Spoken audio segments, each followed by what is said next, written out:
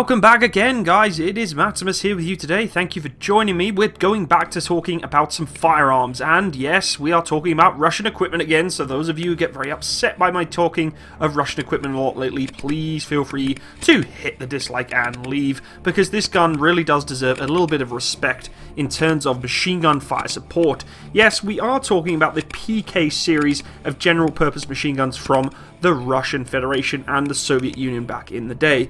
Um, the Soviet designed PK series of light machine guns was pretty much the primary support weapon of most uh, Russian forces back in the day, and uh, unfortunately, insurgents today have been using them quite extensively against Western forces during the War on Terror and obviously many other conflicts around the world. It's ranking among one of the best in its class in terms of machine gun capabilities in the world. Hands down, guys. Uh, I've never fired one, but I can't wait until the day I can. I'm sure it's not going to be much different in comparison to, you know, say a GPMG, but I really do want to fire one, and I'm really looking forward to the day I get the chance to. They've held a distinction since their late appearance in the early 1960s. Supremely reliable, very hardy, and overall deadly. They will remain the most widespread light machine gun for many years to come around the world, guys. Uh, the capability of this gun is continually being upgraded, like most firearms from the Russian world, and even, you know, the American world. You know, a lot of old guns are starting to be brought back into the spotlight again, and this gun is continually being upgraded. There's some new uh, updated weapons platforms, as you saw at the start of this video, some of the footage showing some of the different configurations they're looking into placing this gun. But the basis of the gun is pretty much the same. There's not really much that is changed for the basic principle of machine gun. Uh, and this is a testament to its creator, Russia's most famous arms designer, Mikhail Kalashnikov. Yes, we all know of him. Some relate to him as being the number one killer of people in the world, but this is absolute ridiculousness. At the end of the day, he produced a firearm, and the fact that it has been used by insurgents and terrorists and all that sort of stuff around the world does not depict him as being this mass murderer. Uh, he was an engineer, a brilliant engineer, and produced a very good product, and overall that's where I stand on it. And rest in peace, good sir, um, you produced a fantastic firearm, and to this day still being utilised, um, so good for him. So after World War II, the Soviet Union reviewed the German weapons that had been slaughtering them, especially the beautiful MG42 light machine gun, which, once again, I will be doing a future video of. Realising a good thing when they had it, the Soviets actually latched onto the General Purpose Machine Gun concept, or GPMG. This weapon was intended to fill both the role of a heavy machine gun, which usually contained a very bulky water jacket around the barrel for sustained firing to keep the barrel cool, and a light machine gun. So they were looking for the in-between, the sweet spot, which the Germans did very, very well.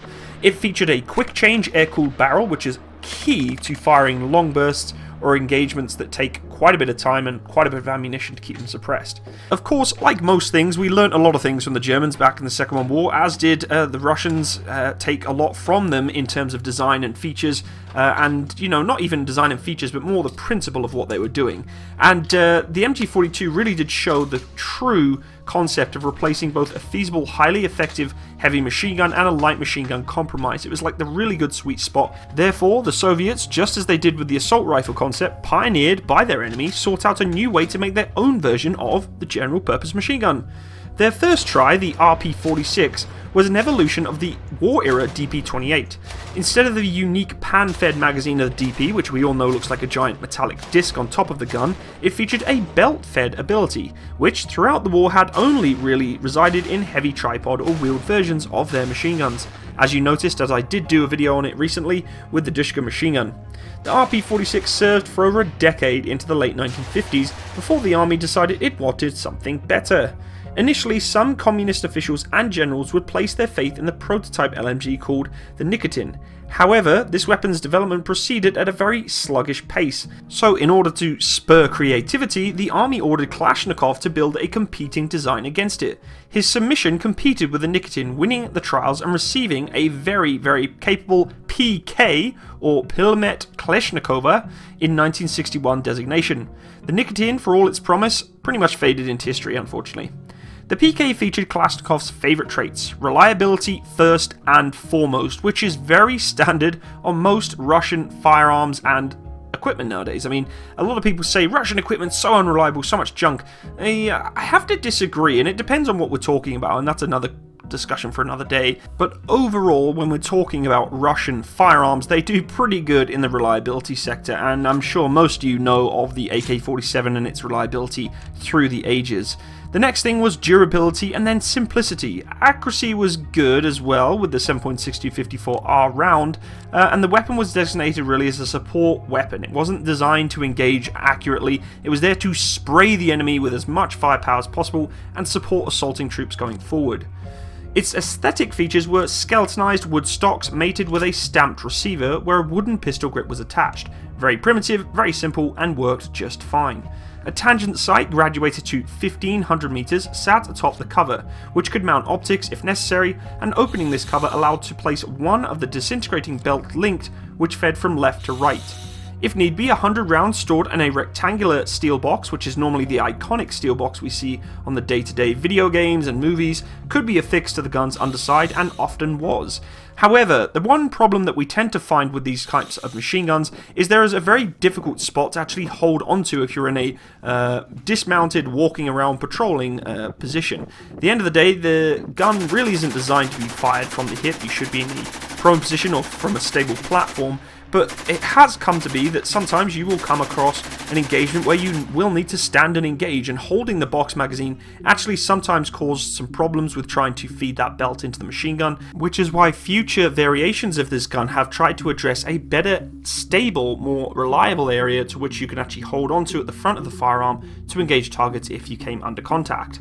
In terms of functionality, the PK mirrored the AK-47's piston operation albeit with a thicker and heavier part system and an open bolt firing for added cooling, which basically means, guys, that this thing is going to be firing a lot more ammunition in a longer pace than it would be the AK-47, so they beefed it up a little bit. I'm a big fan of piston operated firearms, of course the L85A2 and my previously owned PWS Mark 116. I love piston operated guns. Uh, with a machine gun, piston is the way to go for sure. Uh, a lot more repeatable when it comes to uh, having to adjust your gas settings and you know uh, have a nice stable platform to be able to rely on when putting a lot of rounds down the chamber.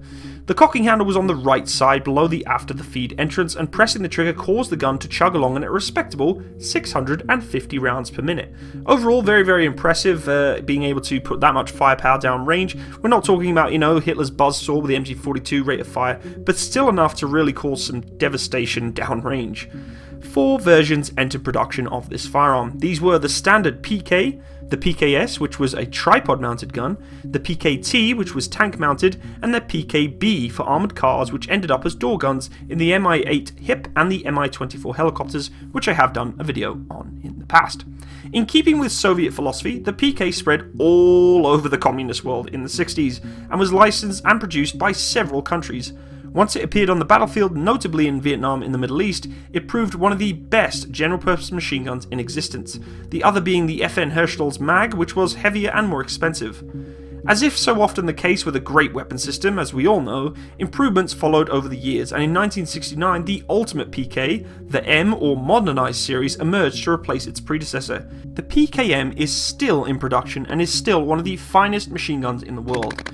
It is improved on the PK in different areas, one being an over 3 pound reduction to weight to 16.5 pounds overall, and a slightly shorter length of the firearm overall is about half an inch, as well as a half inch shorter barrel this is the current and most widely available model seen in the War on Terror and places like Libya, Sierra Leone, you know, Syria. It's just a very common weapons platform today that tends to get shared around. Of course, most of these guns nowadays are even being upgraded further. Uh, Special Forces of Russia uh, are looking into trying to improve them concurrently into new service packages.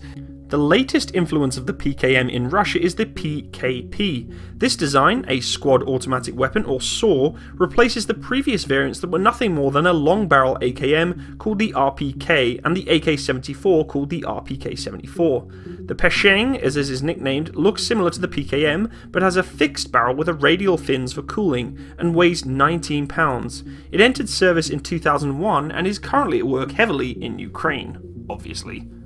At its core, the PKP remains a gas-operated machine gun system capable of fully automatic fire while being fed by a way of 100, 200 or 250 round belt magazines held in a hard box under the receiver. It retains the use of the 7.62 x 54R cartridge seen in the PK or PKM and features a rate of fire reaching 600 to 800 rounds per minute, which was a little bit of improvement over the PKM series.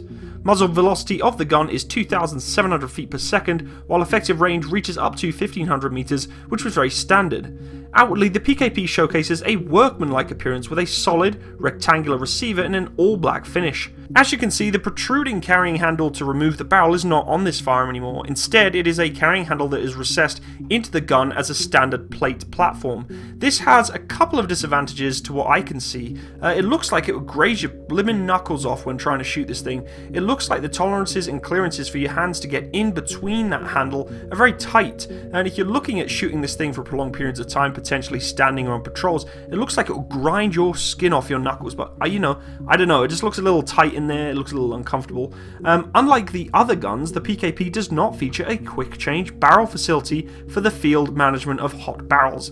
Instead, the assembly is designed with a forced air air-cooled arrangement, basically allowing the gun to cool itself a lot more efficiently. Uh, I don't know how much uh, I'm pro for this, it's something that, you know, I think all heavy or slash uh, medium machine guns should have as an interchangeable barrel. It's very, very handy to have, but, you know, maybe they do have something that is a lot better for this gun to cool it down. The final configuration in this gun is the Peschneg, I'm going to try my best to say that, bullpup, which is a reworked form of the gun to a bullpup configuration, retaining its full-length barrel and containing the action magazine feed to the rear of the trigger group. The Peschneg 2 is considered an improved based on the original Peschneg model and is currently in development phase since 2014. As you can see, this bullpup design is very different to what we're seeing on the standard PK design, but honestly, it looks very, very strange. It looks like an almost futuristic type gun. Uh, it's but ugly in my eyes, but maybe if it's doing the job better, then why not? Uh, I know a lot of people don't like the bullpup design. I must admit, I'm very triggered by seeing that uh, belt coming in at an angle, but I don't think it makes much effect on these guns at the end of the day. They could probably fire a thousand rounds at that angle and have absolutely no problem. And this Russian Bruiser looks like it could literally tear my head off, so I don't think I'm going to say much more about uh, this gun without saying its positives anymore. Uh, but something interesting to see, you know, you don't really see much of the more modern style Russian equipment coming into the showcase, into the media spotlight, so it is nice to see. Um, overall, guys, I have a lot of respect for this gun. It has seen many, many uh, conflicts around the world, in inclusive of conflicts against myself. Uh, many times have I seen uh, insurgents in Afghanistan putting these things downrange onto us. Uh, so yes, I have respect for it, but the same instance, I do appreciate the fact that it did try and potentially kill me and my buddies.